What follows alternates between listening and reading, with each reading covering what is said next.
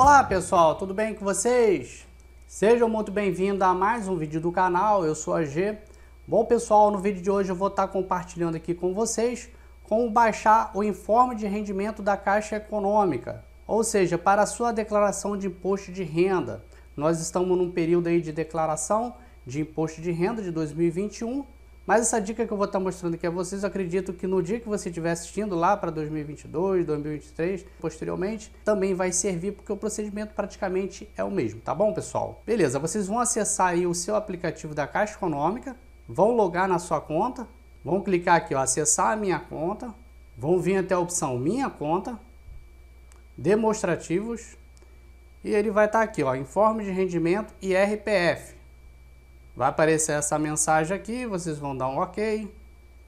Beleza. Então ele aparece aqui o seu informe de rendimento. Beleza, então o que, que vocês vão fazer aqui? Vocês vão estar tá enviando este informe de rendimento para o seu e-mail. E como que a gente faz isso? Vocês vão clicar aqui neste ícone de compartilhamento.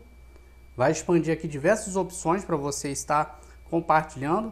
Eu vou escolher aqui Gmail, aí já aparece ali o arquivo no formato JPEG. Vou selecionar meu e-mail Ok, pessoal, nós vamos clicar naquele íconezinho azul, que aparece ali uma setinha para a direita, ou seja, é um íconezinho de envio, e a gente vai dar um toque nele para a gente enviar o nosso informe de rendimento lá para o nosso e-mail, para que posteriormente vocês salvem este arquivo no seu computador, para que vocês consigam fazer os seus lançamentos no imposto de renda.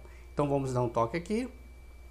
Ok, então o envio já foi feito com sucesso, já podemos sair da nossa conta, beleza? Então é isso aí, pessoal. Mais uma dica compartilhada com vocês. Eu espero que vocês tenham curtido esse vídeo. Se gostou, não se esqueça de deixar o joinha de vocês. Se inscreva no nosso canal se ainda não for inscrito. Nos encontramos até a próxima dica e tchau, pessoal!